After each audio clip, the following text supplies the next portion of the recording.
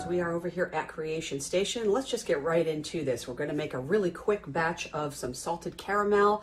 I have never used this particular fragrance uh, before, but I'm going to use it today.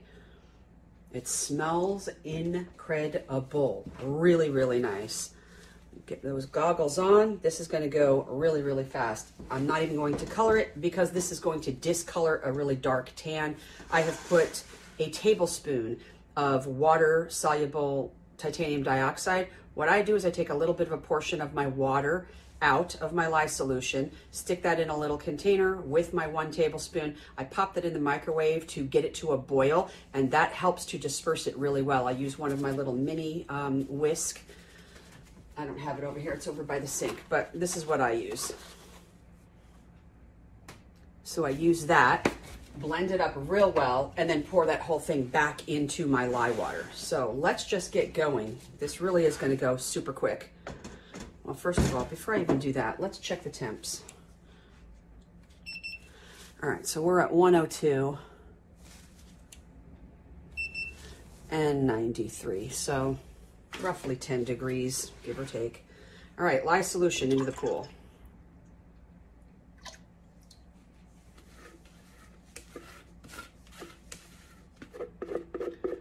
I bought a whole bunch of brand new fragrances for this year's fall scents. I got them all from Flaming Candle. They all smell pretty good, with the exception of Falling Leaves. I don't like that one. It smells, um, it just smells like burning wood to me. Let's give this a buzz. Yes, I'm using a whole different um, stick blender because the one that I just bought, is it's just too powerful. I can't deal with it. So I picked this up at my local um, Ocean State job lot for $13. It's only 100 watts, which is perfect for this.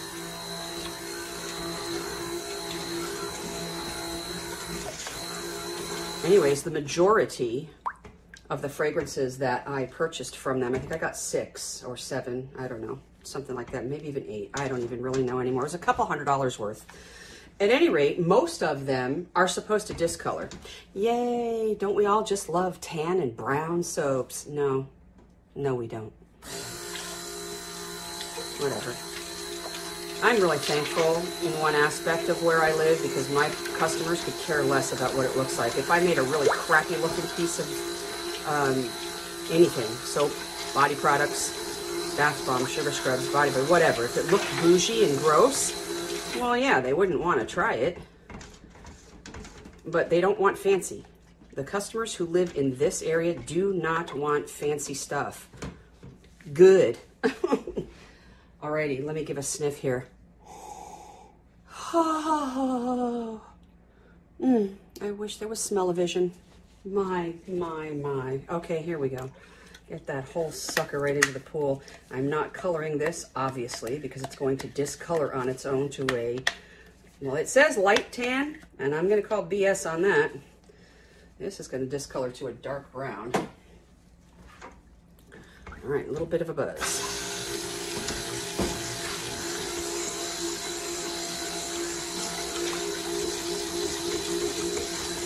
I'm using the new recipe that I formulated over a month ago with several different treat, tweaks rather. Um, I really, really liked that formula a lot, but I've tweaked it multiple more times to get it to be even better. And now I love, love, love it. And all I did was just tweak my numbers around from my other oils that I've been using for years and years, decades actually, because I've been doing this for over two decades. So I just kept those ones and just tweaked those numbers, but I added cocoa butter, avocado oil, and fractionated coconut oil to the rest of the oils that I have already been using. And man, oh man, let me tell you, it behaves really, really well. I've tried it with florals, I've tried it with spices. Um, it behaves incredibly well, stays fluid for quite some time. Creates a nice hard bar the creamy factor is unbelievable. I formulate my um, soap recipes so that it's a nice thick cream. Uh, my customers don't want like really big bubbles that dissipate quickly and doesn't really, you know, provide you with any moisture. They want a nice thick creamy lather, which is really moisturizing. I think the moisture content, oh, I don't know, I think it's like 52. All right, this is thickening up. It's fully emulsified. It's thickening up very nicely. This is really just going to be, um, if I can get this out of here, that would be nice. Um, this is just going to be one straight pour, as I said, no color, because as you can see, it's already turning yellow. It's a light yellow. I actually want it to turn that kind of caramelly color, you know? So that's why I added some of the titanium dioxide. Can't speak. My goodness, what is wrong with me? Anyways, all right, let's just get you right into the pool, shall we? Just one color. Man, it just, it looks creamy as I'm pouring it. This is like the most creamy batch of soap that I have ever formulated. I am just in love. I've done cocoa butter in soaps before. I'm gonna go ahead and um, post the recipe at the end of the video. And so then we will have two different uploads. I will have one on the regular part of my channel. And then the one with the recipe, I will be uploading that into the members section. So you guys can try this too. So I can tell you that, hold on. I can tell you, let's see, the hardness is 46, the cleansing is 17, the conditioning is 52, the bubbly is 23, but the creamy is 34. Yeah, baby. All right, you guys, we're just going to give a little bit of a spritz on the top with our alcohol. We're not even going to texture this. We're doing nothing. This is like the simplest batch of soap ever. No color other than putting the titanium dioxide in the lye water.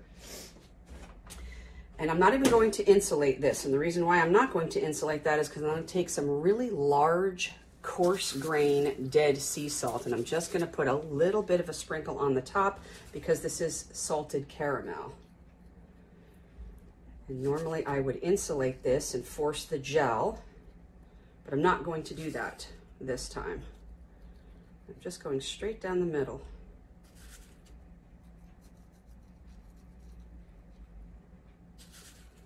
And hopefully at least some of the salts won't get all soggy and mushy and start melting from the heat once this does start going into gel phase.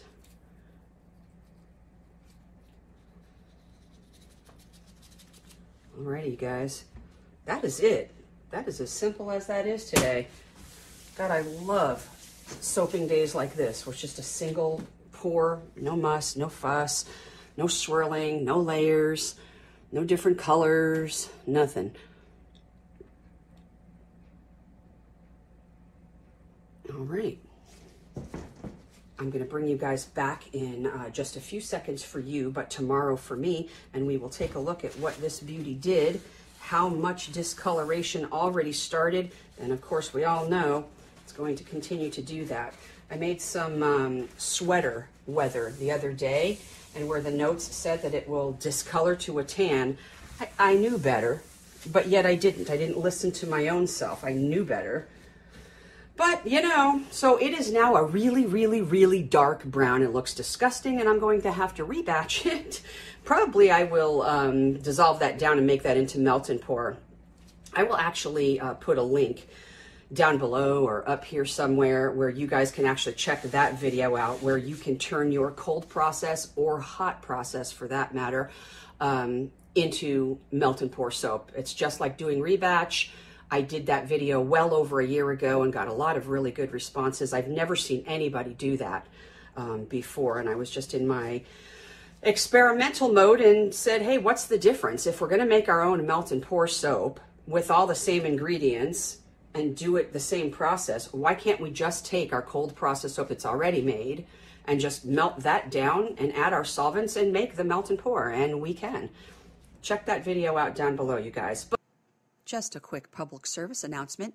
If you see another creator coming up with a technique that's never been done before and you replicate that technique, be a professional and give credit where it's due, especially if you have had conversations with the originator of that technique and asked for links to the video of that original technique. Do the right thing. But stick around for just a couple of seconds and we will unmold and cut this beauty and see what happened overnight. The next day. Okay, it is the next day and we are getting ready to cut into the salted caramel. See how much discoloration has already happened overnight. It's going to continue to do that. It's going to get really, really dark. It would be nice if it stayed this color because it looks just like caramel right now. All right, let's get this in here and we'll give it a cut. I'm gonna put it on its side so we don't have any of those drag marks going down through the salt.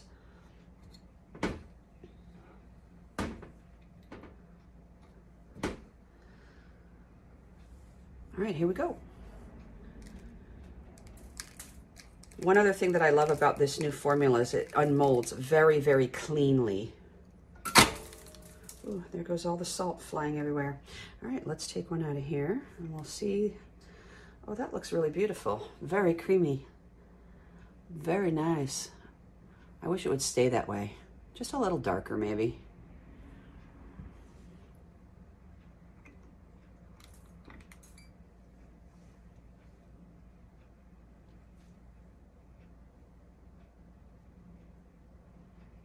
Alrighty, you guys, that is going to do it for today. Just a quick little video today on some salted caramel. Um, as I said, I'm going to go ahead and post the recipe on the end of this video, and that will be going over into the member section.